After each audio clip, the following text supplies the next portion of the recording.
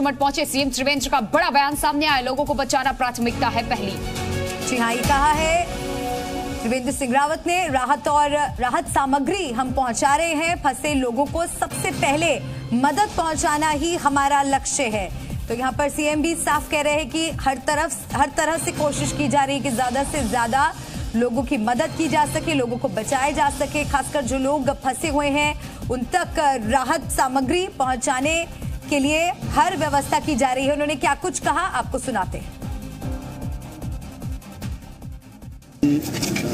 फूलों के अभाव में और फूल जो बह गए इसके कारण जो कट गए हैं तो पहली चीज़ तो उनके लिए कोई राशन की कमी ना हो, खाने की कमी ना हो। और अब जो हमारे भी हैं, उस तरह के कुछ यहाँ पर भेजेंगे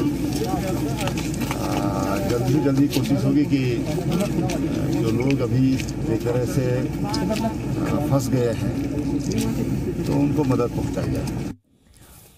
और ये बड़ी खबर, बड़ी जानकारी देखिए, इस वक्त जो तस्वीर आप देख रहे हो, रेस्क्यू ऑपरेशन की तस्वीर आईटीबीपी के जवान यहाँ पर मौजूद है। रेस्क्यू किया जा रहा है और उस रेस्क्यू ऑपरेशन की तस्वीरें नीचे यहाँ लोगों को बचाना प्राथमिकता है। कोई अगर मलबे में फंसा है, जिसकी साँसें चल रही हैं, लेकिन देखिए, जो त्रासदी आई है, जिस तरीके की तबाही और उसके मंजर इस वक्त आप देख रहे हैं, बहाव और उसमें जो मलबा गिरा पहाड़ों से नीचे सड़क पर, लोग बहते चले गए। और भारी नुकसान और इसके अलावा मलिका आईटीबीपी के जो जवान हैं, इनका ये कहना है कि वो सौ लोग, सौ के सौ मौत के आगोश में समा सकते हैं। जो तस्वीरें सामने आई हैं, इसको देखकर ये अंदाज़ा लगा है। बिल्कुल, और आईटीबीपी ने यही आशंका जताई है कि 100 से 150 लोगों की इस त्रासदी में हो सकता है कि जान चली जाए। इसीलिए कोशिश यहाँ पर लगातार की जा रही है। रेस्क्यू ऑपरेशंस हो रहे हैं। हेलीकॉप्टर्स का भी इस्तेमाल किया जा रहा है कि ज़्यादा से ज़्यादा लोगों तक मदद पहुँच सके, लोगों को बचाया जा सके और आईटीबीपी की खास ट्रेनिंग भी होती है। इस किस्म के रेस्क्यू ऑपरेशंस को पूरा करने के लिए कि अगर इस तरह की कोई त्रासदी आती है डिज़ास्टर के वक्त किस तरह से आईटीबीपी के जवान लोगों को बचाते हैं, किस तरह से उनका रेस्क्यू करते हैं, इसमें खास महारत हासिल होती है आईटीबीपी के जवानों को, इसीलिए यहाँ पर तैनात कर दिया गया है आईटीबीपी के जवानों को ताकि वो लोगों को ज़्यादा से ज़्यादा मदद दे सके। हालाँकि प्रधानमंत्री नरेंद्र मोदी खुद नज़र बनाए हुए हैं और पल पल की वो जानकारी ले रहे हैं अपडेट ले रहे हैं और हमने आपको सुनाया कि सीएम त्रिवेंद्र सिंह रावत का क्या कुछ कहना है। उन्होंने कहा कि लोगों तक राहत और राहत सामग्री पहुँचाने की हर व्यवस्था कर ली गई है। और इसी से जुड़ी आपको हम तस्वीरें दिखा रहे हैं। रेस्क्यू ऑपरेशन आप देखिए किस तरह से आईटीबीपी के जवान वहाँ पर लोगों का रेस्क्यू करने के लिए पहुँचे। ऋषिगंगा प्रोजेक्ट में 100 लोग काम कर रहे थे। राहत बचाव और सर्च ऑपरेशन भी जारी है। राहत बचाव के अलावा सर्च ऑपरेशन सबसे ज़्यादा तेज़ी से चलाया जा रहा है कि वक्त रहते उन लोगों को बचाया जा सके जो मलबे में दबे हुए हैं। जिनकी साँसें अभी चल रही हैं, लेकिन घटनास्थल पे सीएम भी पहुँचे हैं, उन्होंने भी जायजा लिया है। दो तस्वीरें दिखा रहे हैं, एक तरफ़ आईटीबीपी जो रेस्क्यू ऑपरेशन चला रही है तो दूसरी तस्वीर उस तबाही के मंजर को आप देख रहे हैं, जो आज सुबह उत्तराखंड में मची और अपने साथ मलबे में सौ लोगों को बहा ले गई। ये ग्लेशियर, देखिए किस तरीके से ऊपर से नीचे पिघला जोशीमठ में पहुँचे त्रिवेंद्र रावत का बड़ा बयान भी सामने आया। लोगों को बचाना हमारी प्राथमिकता है, उसके बाद बाकी जो नुकसान हुआ, कहाँ क्या हुआ, वो सारी चीज़ें हम देखेंगे। लेकिन पहली प्राथमिकता यही है सरकार की, कि जो लोग अभी इसमें फंसे हुए हैं मलबे में, उन्हें वक्त रहते बचाया जा सके। अफवाहों से भ्रमित ना हो सीएम त्रिवेंद्र रावत बार बार ये कह रहे हैं, क्योंकि उत्तराखंड में अब से पहले भी ऐसी आपदा आई है। तो आप किसी भी तरीके की कोई अफवाह, कोई फ़ोटो, कोई वीडियो पे ध्यान ना दें। लेकिन जी हिंदुस्तान पे सटीक जानकारी और खबर इस वक्त आपको मिल रही है। वही तस्वीरें जो सिर्फ़ आज की हैं। पहाड़ पर कुदरत का प्रहार, इससे पहले भी उत्तराखंड में देखा गया है। और इस वक्त जो आप तस्वीर देख रहे हैं, ये आज की ही तस्वीर हम दिखा रहे हैं सिर्फ़ आपको कि कैसे आज एक बार फिर प्रलय उत्तराखंड में देखने को मिला। जोशीमठ में ग्लेशियर जो टूटा, कई लोगों के घर इसमें आ गए। इसकी जद में पावर प्रोजेक्ट तबाह हो गया, डैम टूट गया और इसके अलावा अभी रेस्क्यू ऑपरेशन चलाया जा रहा है। और साथ ही ये भी जानकारी मिल रही है कि सेना को भी अलर्ट कर दिया गया है। उत्तराखंड की प्राकृतिक आपदा से निपटने के लिए सेना को भी अलर्ट कर दिया गया है और सेना की ओर से किए गए एक ट्वीट में कहा गया है कि सेना हेलीकॉप्टर के ज़रिए प्रदेश में आई बाढ़ से निपटने में मदद करेगी और ऋषिकेश के पास मिलिट्री स्टेशन, स्थानीय प्रशासन के साथ मिलकर बचाव कार्य में जुटा है। और देखिए, छह तस्वीरें आपको दिखा रहे हैं। ग्लेशियर टूटने के बाद किस तरह से नुकसान पहुँचा उसी से जुड़ी आप ये तस्वीरें वक्त के हिसाब से आप देखिए, सुबह साढ़े दस बजे की क्या तस्वीर वहाँ से आई वो आपको दिखा रहे हैं। साथ ही धोली गंगा में गिरा ग्लेशियर, उससे जुड़ी तस्वीरें भी आप देखिए। ऋषि गंगा प्रोजेक्ट को किस तरह से नुकसान पहुँचा है, बाँध टूटा, उसकी तस्वीर भी आप देख रहे हैं। रेस्क्यू ऑपरेशन भी जारी है लगातार, जो लोग मलबे में फंसे हुए हो सकते हैं, उन्हें बचाने की कोशिश की जा रही है और पूरे गाँव को वहाँ पर खाली कराया जा रहा है ताकि लोगों को किसी तरीके का नुकसान ना हो।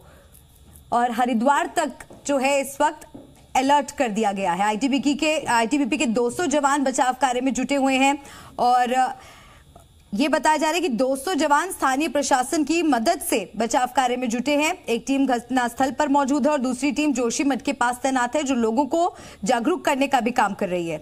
और स्थिति को नियंत्रण में करने के लिए लगातार रेस्क्यू ऑपरेशन किया जा रहा है।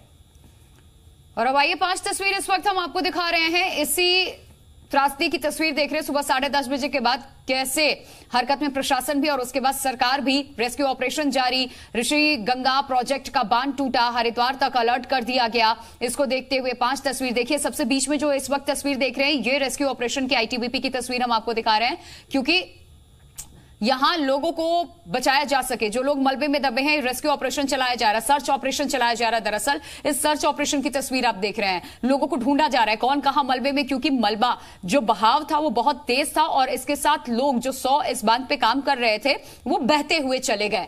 जिन्हें ढूँढने की कोशिश की जा रही है। सर्च ऑपरेशन इस वक्त चलाया जा रहा है। बीच की जो तस्वीर है, उसकी है। सुबह साढ़े दस बजे यह हादसा हुआ। उस हादसे की तस्वीर दिखा रहे ग्लेशियर कैसे ऊपर से नीचे गिरा और फिर उसके बाद ऋषि गंगा जो प्रोजेक्ट है, उस पर इसका असर हुआ, जो बाँध था वहाँ, वो टूट जाता है और फिर इसका पूरा पानी कैसे जोशीमठ में घुस आता है अंदर की तरफ़, लोग इससे प्रभावित होते हैं। रेस्क्यू ऑपरेशन के लिए तुरंत वहाँ पर एसडीआरएफ, चूँकि हर राज्य में वहाँ तत्पर मौजूद।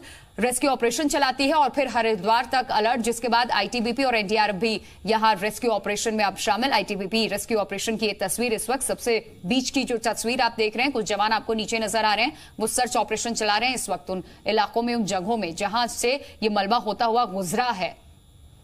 ये तस्वीर अब तक नौ लोगों के शव बरामद एनडीआरएफ ने ये कंफर्म किया है। देखिए, नौ लोगों के शव की बरामदगी हो चुकी है। एनडीआरएफ की तरफ़ से बताया गया घटनास्थल पर सीएम त्रिवेंद्र सिंह रावत पहुँचे और ये तभी दर्शा रहा था कि कोई बड़ा नुकसान, बड़ी अनहोनी है ये। ये राज्य में एक बार फिर कुदरत का कहर देवभूमि में एक बार फिर देखने को मिला। और उत्तराखंड के चीफ सेक्रेटरी ओम प्रकाश ने भी ये जानकारी दी है कि इस दुर्घटना में 100 से 150 लोगों के मारे जाने की आशंका है और साथ ही अलकनंदा नदी के पानी का जो बहाव है, अब वो सामान्य से कम हो चुका है। मुख्यमंत्री ने ट्वीट कर इस बात की जानकारी दी है कि नंद प्रयाग से आगे अलकनंदा नदी का बहाव अब सामान्य हो गया है। नदी का जलस्तर सामान्य से अब एक मीटर ऊपर है, लेकिन बहाव कम होता जा रहा है। और राज्य के मुख्य सचिव, आपदा सचिव, पुलिस अधिकारी और पूरी टीम आपदा कंट्रोल रूम में स्थिति पर लगातार नज़र बनाए हुए हैं। और साथ ही आपको बता दें कि गृह मंत्री अमित शाह ने भी सीएम रावत से बात की है। उन्होंने उत्तराखंड में आई इस प्राकृतिक आपदा की सूचना मिलने के बाद CM Trivendra Singh Rawat, DG ITBP और डीजी एनडीआरएफ से भी बात की है और अमित शाह ने यह भी बताया कि सभी संबंधित अधिकारी लोगों को सुरक्षित करने में युद्ध स्तर पर काम कर रहे हैं। एनडीआरएफ की टीमें बचाव कार्य के लिए निकल गई हैं। और देवभूमि को हर संभव मदद दी जाएगी। और साथ ही प्रधानमंत्री नरेंद्र मोदी भी सीएम रावत से बात कर चुके हैं और लगातार स्थिति की समीक्षा कर रहे हैं। उन्होंने सीएम त्रिवेंद्र सिंह रावत से बात की और ये भी कहा बचाव और राहत का कार्य का, का जायजा लिया और ये कहा कि पूरा देश उत्तराखंड के साथ है और लगातार वो स्थिति को लेकर अपडेट ले रहे हैं। तो देखिए, उत्तराखंड त्रासदी पर आईटीबीपी का भी बयान सामने आ गया है। ये भी हम आपको बताएँगे। दस लोगों के शव बरामद है आईटीबीपी ये कह रही है। इधर एनडीआरएफ ने नौ लोगों के मारे जाने की पुष्टि कर दी है। प्रोजेक्ट में सौ लोग काम कर रहे थे। डीजी आईटीबीपी केंद्रीय जल शक्ति मंत्री गजेंद्र सिंह शेखावत हमारे साथ फोनलाइन पे जुड़ चुके हैं। गजेंद्र जी, इस आपदा से संबंधित क्या जानकारी, क्या अपडेट सर आपके पास? देखिए हादसा हुआ है सुबह जो एक ग्लेशियर के टूट करके नदी में गया गिर जाने के कारण से एकाएक पानी का फ्लो बढ़ा था। ग्लेशियर के टूटने के कारण से जो आइडल पावर प्रोजेक्ट वहाँ अंडर कंस्ट्रक्शन था वहाँ कुछ नुकसान हुआ है सर इस प्लांट पे कितने लोग काम कर रहे थे? क्योंकि बताया जा रहा है तो सौ संख्या डेढ़ सौ संख्या प्राइवेट ये प्राइवेट कंपनी का हाइडल पावर प्रोजेक्ट बन रहा था इसलिए मैं ये सूचना तो नहीं दे सकता आधिकारिक रूप से कि वहाँ कितने लोग काम कर रहे थे लेकिन ऐसा बताया गया है कि 50 से 100 के लोग में बीच में थे वहाँ।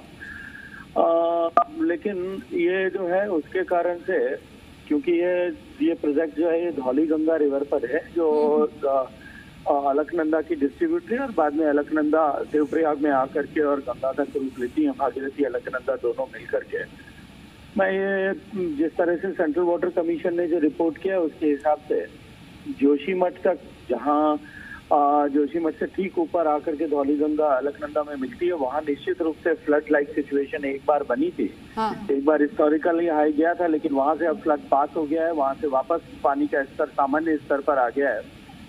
नीचे उससे नीचे जो है क्या जोशीमठ में भी किसी नुकसान की कोई खबर? वहाँ से गाँव वालों ने आपको फ़ोन किया वहाँ स्थानीय लोगों ने या प्रशासन ने क्या सर जानकारी दी है? तरह की कोई नुकसान की खबर नहीं है उत्तराखंड सरकार जो है हम्म। वो बहुत तेज़ी के साथ में उन्होंने रेस्क्यू ऑपरेशन शुरू कर दिए थे अलर्ट इशू कर दिए थे। अलर्ट इशू हो जाने के कारण से लोगों को कहा गया था कि आप एहतियात बरतें नदियों के किनारे पर न जाएँ।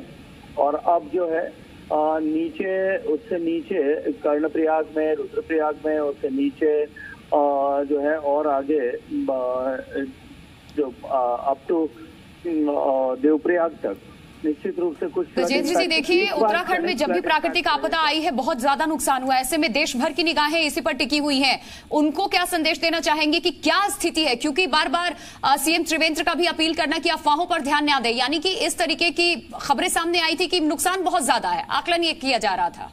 देखिए मैं एक बार फिर कहूँगा कि जैसा माननीय मुख्यमंत्री जी ने कहा है इस घटना को 2013 की घटना के बराबर जो केदारनाथ त्रासदी के बराबर देखने की आवश्यकता नहीं है और उसके उतने उसके कारण से उस डर के कारण से जो पैनिक है वो पैनिक भी क्रिएट करने की आवश्यकता नहीं है। ये बहुत छोटा कंपैरेटिवली जो है इम्पैक्ट इसका होने वाला है क्योंकि एक बहुत सर एक आखिरी सवाल आईटीबीपी ये कह रही है कि सौ लोग जो कार्यरत थे इस बाँध पे उनका अभी कोई खोज खबर नहीं है कोई पता नहीं है। आशंका ये जताई जा रही है कि ये शायद ही ज़िंदा बचे होंगे। 18 हेक्टेयर का ग्लेशियर एकदम से पानी में गिरा था। उस साइट पर निश्चित रूप से नुकसान हुआ है। मेरी जो है माननीय मुख्यमंत्री जी से भी बात हुई है पावर मिनिस्टर से भी बात हुई है वहाँ पर जो स्थानीय प्रशासन पे भी सबसे हम निरंतर संपर्क में सेंट्रल वाटर कमीशन को भी हमने हाई अलर्ट पे रखा है। और सेंट्रल वाटर कमीशन की सूचना के अनुसार अनुसार अब जो है फ्लड लेवल्स वापस रिसीड होने लग गया है, कम होने लग गया है। एहतियात बरतने की आवश्यकता है पैनिक करने की आवश्यकता नहीं है। बिल्कुल, चलिए बहुत शुक्रिया आपका, गजेंद्र जी। एहतियात बरतने की आवश्यकता है पैनिक होने की आवश्यकता नहीं है, ये सीधे कहना है। क्योंकि त्रिवेंद्र रावत भी यही कह चुके हैं कि इस तरीके की अफवाहों पर आप ध्यान मत दीजिए। और इसी के साथ यहाँ एक ब्रेक के लिए रुक रहे हैं। खबरों का सिलसिला लगातार जारी है। पीएम से दूरी, ममता की सियासी मजबूरी। बीजेपी के त्रिदेव छीनेंगे ममता से तख्त। बंगाल में परिवर्तन के रथ पर बीजेपी का विजय पथ। देखिए शंखनाद, मेरे साथ चार बजकर सत्तावन मिनट। पर